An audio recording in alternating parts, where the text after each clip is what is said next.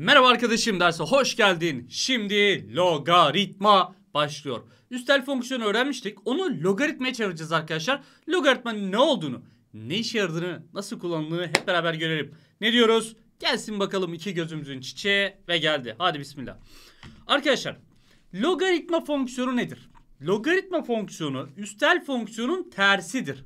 Şimdi üstel fonksiyon ne neydi? Bir üstü sayı var ama üstün x yani değişken üst olacaktı. Tabanda bir sayı olacaktı.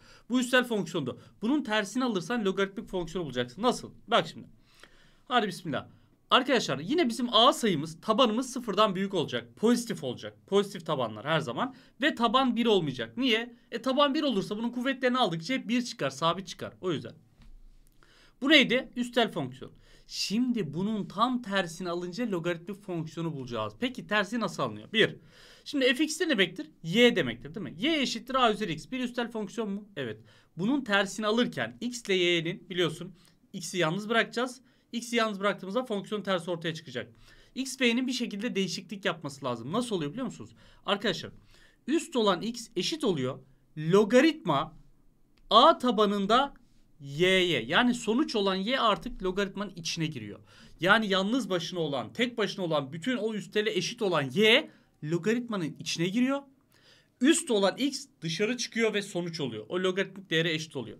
Ne demek istiyorum? Sayılarla anlatayım çok daha iyi anlayacaksınız. Bakın arkadaşlar mesela şöyle bir şey söyleyelim. Burada ne diyor? Y eşittir a üzeri x. Ben mesela dedim ki y eşittir 2 üzeri x. Bunun dedim tersini al. Ben logaritmaya çevireceksem logaritma üstel fonksiyonu üstellikten düşürür. Bu. Diyorum ki ben logaritma yazıyorum. Log. Şimdi benim tabanım neydi? Arkadaşlar taban burada 2 sayısı. Burada taban 2 olarak kalmaya devam eder. Logaritma 2 tabanında diyorum. Güzel. Şimdi benim üstüm neydi? X. Üst olan x artık sonuçtur. Eşittir x'e. Peki buradaki y'ye ne oldu? Buradaki y de arkadaşlar logaritma fonksiyonun içine girdi. He, üst sonuç olur. Eski sonuç fonksiyonun içine girer. Taban nedir? Taban hala 2 2 olarak kalmaya devam eder arkadaşlar. Meselemiz bu. Ne öğreneceğiz? 3 şey. 1. Taban logaritmada da taban olarak kalır. Üst yeni sonuç olur. Eskiden o üstel fonksiyona eşit olan sonuç logaritmanın içine giren bir değer olur. Bu. Mesela diyor ki 2 üzeri x eşittir 7. Burada sonuç ne? 7. Taban ne? 2. Üst ne? x. Önce tanımlamaları yapalım. Tamam. Anladım. Yani şu kalıba göre ax eşittir y kalıbına göre ben bunu logaritmaya sokuyorsam logaritma diyorum. Tabanım ne a? A tabanında olacak. Y içeri girecek. Üst olan x sonuç olacak. Kural bu. Bu değişiklik ve dönüşüklü, dönüşmeyi adını soyadınız gibi bileceksiniz. Şimdi bakıyorum sonuç bu. Hemen şuraya alıyorum. Diyorum ki bir dakika şuradan yapayım. Logaritmayı yazıyorum. Tabanım kaç? 2. Taban 2. Tamam diyorum taban 2. Benim sonucum kaç? 7. 7 artık içeri girecek. Ve bunun tamamı artık üstlü ifadeye, üste eşit olacak. X'e eşittir X. İsterseniz eşittir X buraya yazın. isterseniz eşittir X buraya yazın.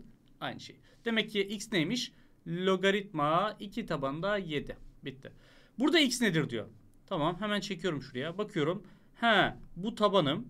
Bu üstüm. Bu da nedir arkadaşlar? Sonuç. Tamam. Diyorum ki logaritmayı yazıyorum. Önce tabanla başlıyorum. Tabanım 3. 3 tabanında. Şimdi sonuç olan 5 içeri girer. Üst olan ifade sonuç olur. Yani 2x eksi 1. Her zaman x olmak zorunda değil arkadaşlar. Bakın burada 2x eksi 1'dir üstlü ifademiz. O üst tamamen sonuç olur. Şimdi x'i bulduk mu? Daha bulamadık. 2x eksi 1 bulduk. E gerisi çok kolay canım. Eksi 1 artı 1 diye at. Logaritma 3 tabanında 5 artı 1 eşittir 2x. X'i bulmak istiyorsan her iki tarafı 2'ye böl. Bölü 2 oldu. Vay biraz uzun oldu. Yani şu. Logaritma 3 tabanında 5 artı 1 bölü 2. Bu bana x değerini verir arkadaşlar. Tamam. Bir alttakine gelelim. Hocam diyorsunuz ki hemen logaritma yazalım. Logaritma. Tabanım ne? Taban 1 bölü 2. Yine 1 bölü 2 tabanında. Şimdi sonuç olan 3 artık içeri girdi. Üst olan ifade artık sonuç oldu. x artı 1 eşit oldu. Bu biri karşıya eksi olarak atarsan yani şu öyleyse. Hatta eksi 1'i şöyle başa yazayım. Çünkü 3 ee, eksi 1 gibi algılamayın sonda olunca. Logaritma 1 bölü 2 tabanda 3. Yani eksi 1 buraya yazınca karıştırabilirsiniz. 3'ten 1 çıkarmayın sakın. Bu 3 logaritmaya ait. Peki. Bulduk. Eksi 1 artı logaritma 1 bölü 2 tabanda 3. Hocam logaritma nedir şimdi ya? Arkadaşlar üstel fonksiyon varsa onun da tersi olmak zorunda. Onun tersidir yani. Üstü sayıların tersi gibi düşünün. Devam. Verilen logaritmik ifadede x değerini bulun. Şimdi bir şeyin dönüşümünü yapabiliyorsak tersini de yapabiliyoruz. Şöyle düşünün. Biz a üzeri x eşittir y dedik. Sonra bunun tersini aldık. Tersinde logaritma x tabanında y eşittir pardon logaritma a tabanında y eşittir x dedik değil mi? Evet. Ben bunu verirsem bunu yapabiliyor musun? Yapabiliyorsun. Arkadaşım o zaman ben bunu verirsem de bunu yapabilmen lazım. Yani ben sana logaritmik fonksiyonu verirsem de tekrar üstlere de çevirmen lazım. Çünkü bu işlemin tersi bunu veriyorsa bunun bir daha tersini alırsan ilk orijinal halini verir. Yani şöyle düşün. Ben sana dedim ki logaritma 2 tabanında 5 sallıyorum eşittir x. x bunu şeye çevir ya da x'i şuraya yazayım. Hadi mesela buraya 5 yazayım. Bana x'i bul dedim. Ne yaparsın? Hemen dersin ki hocacığım bu var ya bu bu tabandır. Yazarım ben bunu 2'ye. Şimdi hocacığım eskiden üst olan şey sonuç oluyordu. Demek ki şimdi sonucu bunun üstüne almalıyım. X içeri girdiğine göre eskiden tek başına kalan yalnız olan sonuç olan oydu. Heh bak bu hale dönüştü. Şimdi ben sana desem ki bunu logaritmaya çevir. Hemen dersin ki hocam taban 2'ye. Sonuç olan x içeri girer. Üst sonuç olur. Bak bu buna dönüşebiliyorsa bu da buna dönüşebilir. Bunu kastediyorum. Birkaç örnek yapayım iyi anlayacaksın. Şimdi geri çeviriyoruz yani yaptığımız işlemle. Aa burada bir şeyi logaritmaya çevirmiş. He diyorum bir dakika.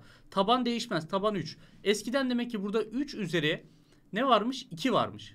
Çünkü 2 sonuca gittiyse eskiden üstteymiş. Bu da eşittir. İçerideki fonksiyonu. İçeride ne var? x. Eşittir x'e. Bak x eşittir 3 üzeri 2 yani 9'dur. Çünkü sana desem ki bunu logaritmaya çevir şöyle yaparsın. Hocam bu logaritma tabanım kaç? Tabanım 3. Hocam tabanım 3. Hocam sonuç olan sayı içeri girer. Üst olan sayı artık yeni sonuç olur. Bak buradaki ifade buradaki ifadenin aynısı değil mi? Tıp atıp aynısı. Demek ki he, hangi üstel sayı logaritmaya çevrilmiş diye düşünüp geri alacaksın işlemleri. Şurada geri alma yapalım. Hocam diyeceksin he bu hangi üstü sayı? Bu tabandır. Buradaki de üst olacak. Güzel. Diyeceksin ki hocam demek ki şuraya alalım. 3 üzerinde 3 varmış eşittir. Buradaki ifade de sonuç olacak. 12x artı 5. Yani bunu kural olarak da yapabilirsiniz. Bir logaritmik değer görürseniz sonucu tabanın üstüne yazıyorsunuz. Bu içerideki değere eşit oluyor. Bu kadar basit aslında. Burası ne yapar? 27. 12x artı 5. Bu 5'i karşıya at. 22. 12x. 12'ye böl. x eşittir 22 bölü 12. Yani sadeleştir 11 bölü 6. 11 bölü 6. Kontrol edelim mi? 3 üzeri 3 27'dir. 12x artı 5 oluştu olur. At 20'ye tamam. Bir sıkıntı yok. Buraya gelelim. Öğretmenim bu taban 64'tür. Bu sonuç artık yeni üst olur. 64'ün üstüne gelir. Şöyle yapalım. 64 üzeri 1 bölü 2 olur. Bu da eşittir içerideki fonksiyonu. İçeride sadece x var. Eşittir x. Şimdi 1 bölü 2 ne demektir? Karekök demektir. Ya üstteki 1 bölü 2 demek aslında karekök demektir. Karekök 64. O da dışarı nasıl çıkar? 8. Bitti. Ve en alttakine geliyorum. En alttakinde yeşil rengi kullanmadım. Hemen buraya alırım. He tabanım x. Bu da yeni üstüm olacak. Bu bunun üstüne gelir. x üzeri 2 olur. İçerideki fonksiyon tekrar eski haline, sonuç haline geri döner. Neyin karesi 121'dir? Tabii ki 11'in. Öğretmenim eksi 11'in de karesi olabilir. Yapma. Yapma döverim. Bak şiddete şiddetle karşıyım ama döverim. Bu ne? Taban. Yani eskiden A dediğimiz şey sıfırdan büyük olmak zorundaydı. Bak. Bak A sıfırdan büyük. Görüyor musun? Burada logaritma A tabana döndü. Taban her zaman sıfırdan büyük olacak. O yüzden negatiflisini almadım. Pozitiflisini aldım. Güzel. Fonksiyon tersini bulalım. Şimdi burada işin işte birkaç şey daha girecek. En basitiyle ben sana bir fonksiyonun tersi nasıl alınır onu gösterdim biraz önce değil mi? Ezber yaptırdım yani. İşte dedim ki üstü sonuç yap, sonucu logaritmanın içine koy falan dedim. Burada biraz daha işlem karıştığında kafadan yapamayınca klasik ters alma metoduna gidiyoruz. Nedir? Fonksiyona y diyoruz. Bu fx eşittir y eşittir 3 artı 2 x üzeri eksi 1. Şimdi burada nasıl fonksiyon tersini alırdık? alırdık? X'i yalnız bırakmalıyız değil mi? X'i bulmalıyız. X'i bulduğum an fonksiyon tersini bulmalıyım. X'i nasıl yalnız bırakırım? Şu 3'ü karşıya at. Y eksi 3 eşittir. 2 üzeri x eksi 1. Heh. Şimdi buradan devam edeceğim ama üstel fonksiyon var elimde. Burada bir üstel fonksiyon var. İşte üstel fonksiyon tersini almak için logaritmayı kullanıyoruz zaten değil mi arkadaşlar? Hemen o zaman bu iki tarafta da logaritmayı kullanmak için logaritmaya çeviriyorum. Logaritma. Tabanım kaç? Bak taban 2 hiç değişmedi. İki tabanda. biliyorsun şuradaki sonuç içeri girer. y eksi 3 olur. Ve artık benim eski üstüm olan x eksi 1 de sonuç olur. x eksi 1 olur. Bu değişim ve dönüşüm artık bilinecek. Bunu yaptık. Hala x yalnız değil. Bu eksi 1 karşıya artı 1 diye at. 1 artı logaritma 2 tabanında y eksi 3. X yalnız kaldı mı? Evet. İşte arkadaşlar bu fonksiyonun tersidir artık. Dananın, bitti. Ama yazarken ne yapıyoruz? Fonksiyonun tersi x eşittir. Değişkenimiz x'li olduğu için fonksiyon tersini yazarken de x'li yazıyoruz arkadaşlar. Şunu yazarken 1 artı logaritma 2 tabanda y eksi 3 değil x eksi 3 yazıyoruz. Çünkü değişkenimiz x'ti. Burada y bizim için geçici bir sembol. Fonksiyon tersini hatırlıyorsanız inşallah orada var bu. Buraya gelelim. Tersini bul diyor. Bakıyorum kafadan yapamam. Hemen çevir. Normalde sadece şu kadar olsaydı fonksiyon hemen çevirirdim. Ama artı bir falan da var ya. O yüzden diyorum ki yapamam onu. Bir y yazayım. 1 artı logaritma 3 tabanında x eksi 2. X'i yalnız bırakmalıyım. Biri karşıya atıyorum. y eksi 1 eşittir logaritma 3 tabanında x eksi 2. Aha buradan sonra hemen tık tık tık tık e, işlemi devam edebilirim. Nasıl yapabilirim? Ha derim bir dakika ben bunu üstel fonksiyona çevireyim. Çünkü şurada üstel fonksiyondan kurtulmak için logaritmaya çevirdim. Burada da logaritmadan kurtulmak için üstele çevirmeliyim. Ne yapıyorum? Diyorum ki bir dakika taban ne 3. Burada şu var 3. Şimdi eskiden e, bu logaritmada dönüşüm nasıl olurdu? Bu taban şuradaki sonuç da onun üstüne gelir. y eksi 1 olur. Eşittir x eksi 2'ye içeridekine. Çünkü bu üsteli logaritmaya çevirdiğim zaman 3 taban oluyordu. Sonuç fonksiyonun içine giriyordu. Üst sonuç oluyordu değil mi? Tersini alırken de bu sefer sonuç üst oluyor falan fistan. Bunu yer değişikliğini iyi bileceğiz. E şimdi ne oldu? Hala x yalnız değil. Tamam canım yalnız bırakırız. Eksi 2 de artı 2 diye at. 2 artı 3 üzeri y eksi 1 eşittir x. Aha x yalnız kaldı mı kaldı. İşte bu fonksiyonun tersidir. Ama yazarken şöyle yaparız. Fonksiyonun tersi eşittir 2 artı 3 üzeri x eksi 1. Dananın bitti bu kadar. Tamam. Y yazmayız. X yazarız. Çok güzel. Devam. Devam devam devam. Olduğuna göre x kaçtır? Süper. Logaritmayı üstü sayıya çevireceğiz. Logaritma üstü sayıya nasıl dönüşür? Tabii ki bu tabandır. Artık bu da üsttür. Bunu getir bunun üstüne yazarsın. Böylece logaritma ortadan kalkar. Hemen 2 üzeri 4 yazdığım zaman eşit olur bu içerideki e, zımbırtıya. 12 artı logaritma 3 tabanda 5x artı 1. Harika. 2 üzeri 4 nedir? 16. Bu 2 12 at karşıya 16'dan çıkar 4 kalır. 4 eşittir logaritma 3 tabanda 5x artı 1'e. Ya bu logaritmadan nasıl kurtuluruz? Üstele çevirerek. Aha da bu tabandır. Bunu onun üstüne yazdığım an, bunu bunun üstüne yazdığım an ne oluyor? Logaritmadan kurtuluyoruz arkadaşlar. Öyleyse 3 üzeri 4 yazıyorum. Ne oluyor? Bu içerideki zımbırtıya eşit oluyor. 5x artı 1'e. Burası ne yapar? 3 üzeri 4 81. Bu biri karşıya atarım. 80 kalır. 5x'e. Her iki tarafı 5'e bölüyorum. x eşittir 16 yapıştır ve geç. Güzel. Logaritmayı üstlüye üstlüğü logaritmaya çevirebiliyorsan hiçbir problem yok. Gerisi çocuk oyuncağı. Peki logaritma fonksiyonu nerede tanımlı? Tanım kümesini bulalım. Yani bu fonksiyon, bu makine nerede çalışıyor? Hangi aralıklarda çalışır, hangilerinde çalışmaz? Arkadaşlar en temel bilgi. Logaritmadaki yine bu tabanın a var ya bu pozitif olacak. Ve a 1 olmayacak. Üstel fonksiyonda da öyleydi. Yani a üzeri x dediğimde bu a hem pozitif olacaktı hem de 1 olmayacaktı. İkisi yani pozitif olacak ama 1 olmayacak. Tamam. Tabi bir de sıfırdan büyük olacaktı yani. O zaten pozitif demek pardon. Logaritmanın e, logaritması alınan sayılı pozitif olmalı. Aha artık yeni bir şey daha girdi. Logaritması alınan şu ifade de pozitif olacak. Yani fo- logaritmik fonksiyon içindeki denklemin tamamı. İlla x olmak zorunda değil. 3x eksi 5 olabilir, 2x eksi 1 olabilir. O da pozitif olacak.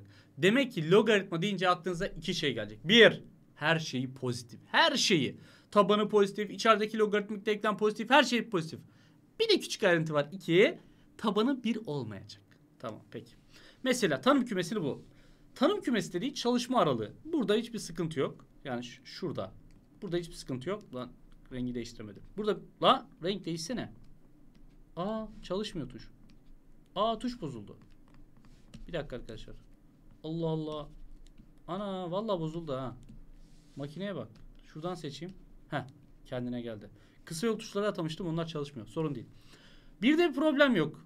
Bütün mesele burada. Taban ve içerideki fonksiyonda. Aa tabanda 2. Yani hem sıfırdan büyük hem de 1'e eşit değil. Bu da bir problem oluşturmuyor. İşte problem burada olabilir. Bu içerideki zımbırtı nedir? Logaritması alınan pozitif tam sayı. Burada x ile gösterdiğimiz şey. Burada x eksi 3 olabilir. İşte bu parantezin içi yani x eksi 3 sıfırdan büyük olmak zorunda. O zaman at karşıya x 3'ten büyük olmak zorunda. Tanım kümesi nedir? 3'ten büyük her şey. Ne demek? Şöyle. Şunu biraz şuraya yazayım. X ne olacaktı? 3'ten büyük olacak değil mi arkadaşlar? Şöyle yazarım. 3'ten pardon 3'ten başlar. Artı sonsuza kadar gider. Bunun hepsinde çalışır. 3'ten sonra her şeyde çalışır. 3'ten küçük olursa ee, burası 0 ya da negatif olur. Çalışmaz o zaman. Tanım kümesini bulalım. Aha burası sıfırdan büyük olacak ve 1 olmayacak. Burası sıfırdan büyük olacak ve yok bura 1 olabilir. Sadece aşağısı 1 olmayacak. Tamam diyorum ki o zaman 5 eksi x dediğim şey sıfırdan büyük olacak. Öyleyse x 5'ten küçük olacak. Bu birinci bilgi. İkinci bilgiye geliyorum. x eksi 2 sıfırdan büyük olacak. O zaman x dediğim şey bunu at karşıya 2'den büyük olacak. Anladım. x 2'den büyük 5'ten küçük. Yani benim x değerim 2'den büyük 5'ten küçük olacak. Bir dakika. Bir de şu var. Burası 1 olmayacak. Şimdi burayı 1 yapan ifade ne? Yani burayı 1 yapan if pardon. Evet kısa yol tuşlarım hakikaten çalışmıyor arkadaşlar. Neyse şuradan idare edeceğim. Burayı 1 yapan ifade ne? Hocam x yerine 4 yazarsanız 5 eksi 4'ten bura 1 olur. Tamam demek ki x kesinlikle 4 olamaz.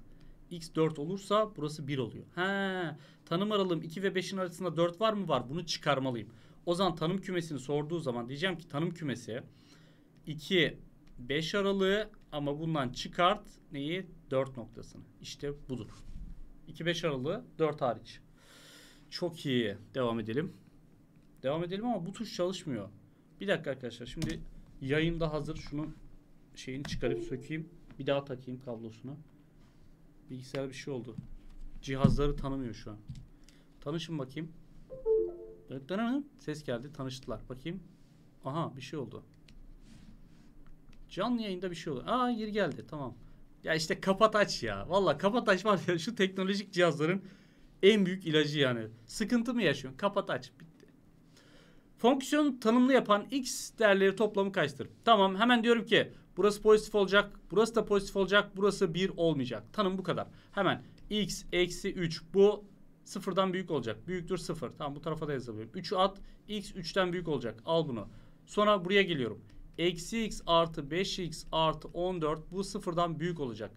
Şimdi bunun çarpanlarını ayırmak için her yere eksiyle çarpıyorum ki şu x karenin katsayısı artı olsun. Çünkü ona alıştım ben. x kare pozitif bir şekilde çalışmaya alıştım. Eksiyle çarp x kare eksi 5x eksi 14 eşitsizlik yön değiştirir. Böyle olur.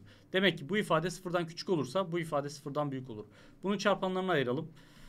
Hocam 7, 2 bu eksi olsun. Çarp eksi 14 topla eksi 5 güzel x eksi 7 çarpı x artı 2 böyle olacak hocam. Kökleri nedir? Buradan gelecek kök 7'dir. Buradan gelecek kök eksi 2'dir. Kök dediğin ne? Çarpanı sıfır yapan şey. İşaret tablosunu yapalım. Eksi 2 7. Tamam. Şimdi buradaki x karenin katsayısı kaç? Pozitif. Pozitif olduğu için artı eksi artı yazalım. Bizim istediğimiz denklem şu. Bu denklemin sıfırdan küçük olmasını istiyorum. Küçük olacaksa benim istediğim yer negatif bölge. Yani burası. Burası nedir arkadaşlar? Eksi 2 7 aralığı. He. Eksi 2 7 aralığını alırsam şu ifade negatif olur. Dolayısıyla bu ifade pozitif olur. Yani şu ifade pozitif olur dolayısıyla. Aradığım aralık bu. Eksi 2 7 aralığı. Fonksiyonu tanımı yapan x değerlerinin toplamı bulun. Bir de ne biliyorum? Sadece bu değil. Bak sadece bu değil. Bir de şunu sağlamalı. x 3'ten de büyük olmalı. Bu diyor ki bak mavi olan diyor ki senin x'leri şunu düzgün çizeyim. Senin x'leri eksi 2 7 aralığında olmalı diyor. Kırmızı olan da diyor ki bak mavi olan bu aralıkta olması gerektiğini söylüyor. Kırmızı olan diyor ki hayır 3'ten büyük olmalı. Burada 3 var mesela. 3'ten büyük olmalı diyor. Biliyorsun her ikisinin kesişimini al alırız. Her ikisini dinlemeyiz. İkisinin ortak olduğu yeri dinleriz. İkisinin kesişimine bakarsan 3 ile 7 aralığı. Tamam diyorum ki benim çözüm kümem 3 7 açık aralığıdır. Fakat payda 1 olmamalı. Paydayı 1 yapan şey ne? X'in 4 değeri. 4 eksi 3 1 yapar. Bir de X 4 olmamalı. 4 bu aralıkta mı? Evet. Bu aralıkta olduğu için onu da çıkarıp atmalıyım. Bu boşluk. Eksi 4 noktası. Bak bu paydayı, paydayı demişim ya. Buna payda mı dedim ben? Tabanı, tabanı 1 yapan değeri çıkarmayı unuturlar. Unutmayın, yamulmayın lütfen tamam Unutan yamulur. Bu çözüm kümesi. Ha x değerlerin toplamı kaçtır diyor. Aa hemen bulalım. 3 ile 7 arasında ne var? 4, 5, 6 var. 4 olamayacaktı. Bu tam sayılar 5 ve 6'dır. Topla 11. Yapıştır. Fonksiyon tanımı yapan x değerlerin toplamı kaçtır? x tam sayı. Tam sayı değerlerin toplamı diyecekler arkadaşlar. Pardon sorry unutmuşum. Orada tam sayıyı eklememiz şart. Devam ediyorum. Fonksiyonu her x gerçel sayısı için tanımlı olduğuna göre o bütün her yerde çalışıyor. K'nın alabileceği en büyük tam sayı değeri kaçtır? Şimdi bu ne demek? Her yerde çalışıyor demek. Tamam payda zaten 7. Yani hem 1 değil hem pozitif. Payda da bir sıkıntı yok. Demek ki şurası arkadaşlar pozitifmiş. Bana bunu söylüyor. Burası pozitif. Her zaman. Her zaman x yerine ne yazarsan yaz. Yukarıdaki denklem pozitif çıkıyor. Tamam. Bunu anladım. Bakın bu bana nasıl bir bilgi verecek. Artı 3 eksi 4. Bu her zaman pozitif. Şimdi buradan ne çıkarabilirsin? Ben şöyle bir şey çıkarıyorum. Bir ifadenin kökü ne demektir? O ifadeyi sıfır yapan değer, değer demektir değil mi? Demek ki buraya sıfır yapan hiçbir şey yok. Buranın kökü yok. Aa evet çünkü sıfır yapan bir x değeri olsa yerine yazsam ve orayı sıfır yapsa demek ki bunu sıfır yapan bir değer var. Her zaman pozitif çıkmıyor derim. Çöker bu teorem. Ama bu bana her x gerçel sayısı için tanımlı olduğuna göre diyorsa demek ki buraya hiçbir zaman sıfır olmuyor. Hep sıfırdan büyük pozitif çıkıyor. O zaman diyorum ki buranın kökü yoktur. He buranın kökü yoktur. Şimdi buranın kökü yoksa biz bunu nasıl gösteririz? İkinci dereceden denklemlerde eğer diskriminant sıfırdan küçükse kök yoktur. Demek ki buranın da kökü olmadığına göre buranın diskriminantı sıfırdan küçüktür. İşte bunu anlatıyor. Vay arkadaş ya. Peki diskriminant nedir? Diskriminant b kare eksi 4 ac'dir. Bakın ax kare artı bx artı c denkleminde diskriminant dediğim şey b kare eksi 4 ac'dir. b kare nedir? b x'in katsayısı. A x karenin katsayısı c sabit sayı. Bir de buna x 4 ile çarparsın bu denklemi bulursun.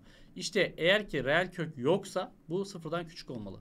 Tamam biz de diskriminantımızı bulalım. b kare eksi 4 ac ile. Şimdi bunun sıfırdan küçük olmasını istiyorum. b sayısı nedir? x'in katsayısı olan 5. 5'in karesi 25. Eksi 4 çarpı a sayısı kaçtır? x karenin katsayısı yani 1.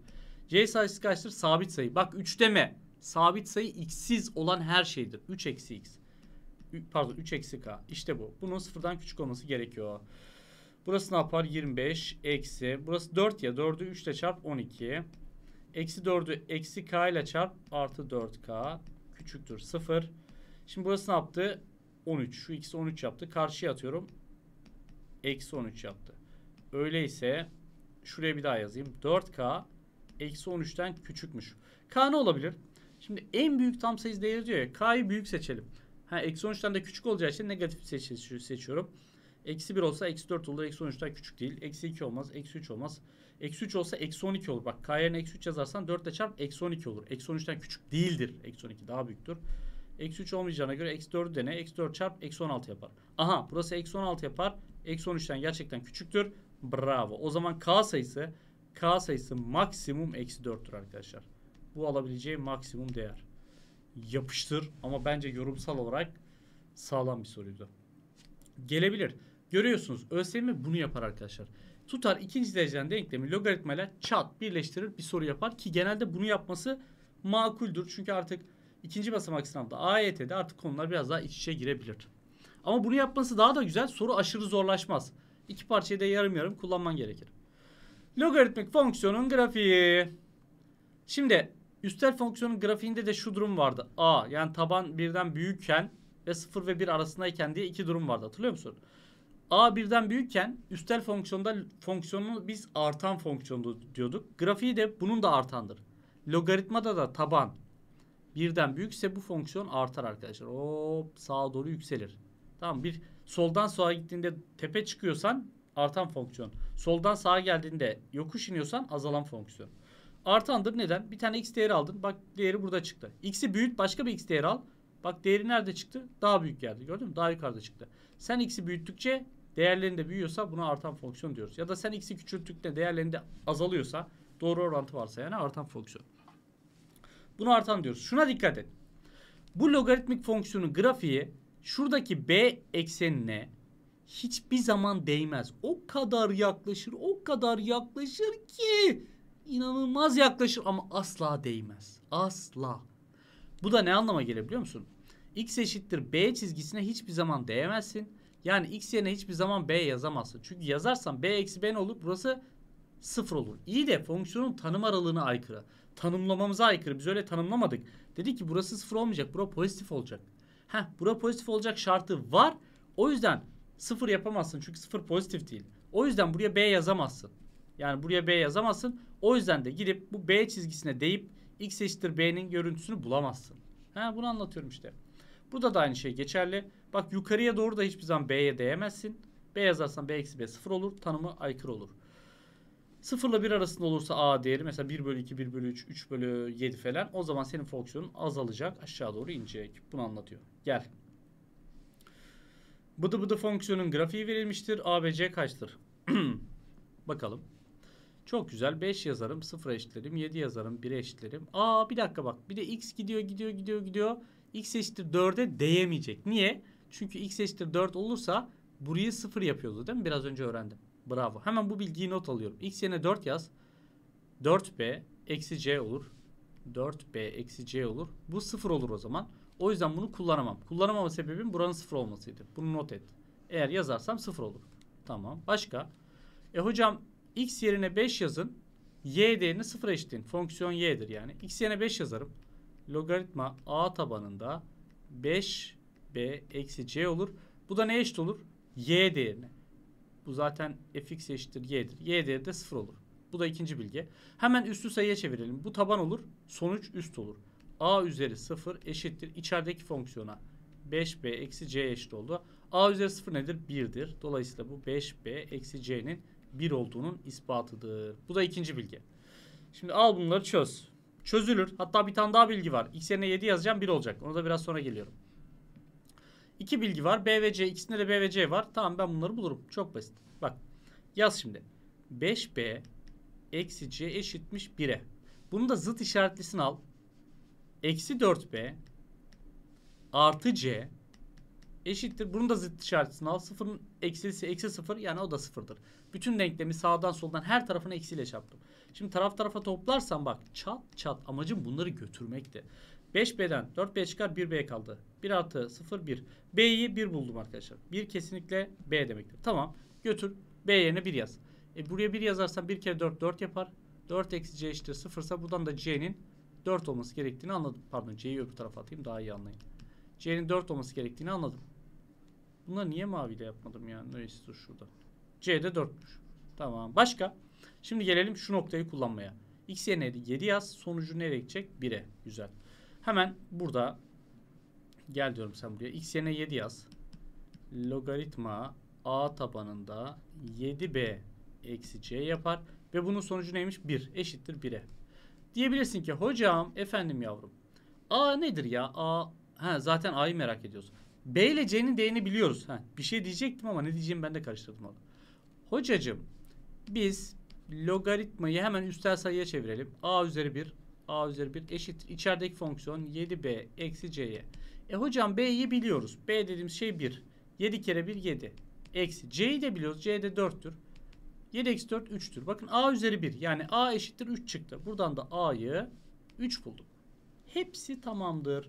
A3, B1, C4 topla e, 4 4 daha 8 yapıştır. Bu kadar. Güzeldi. Denklem çözmediği için içine girebilir. Ve son soru. Sonra finito. Bu ders için tabii ikinci ders olacak. Özellikleri gelecek.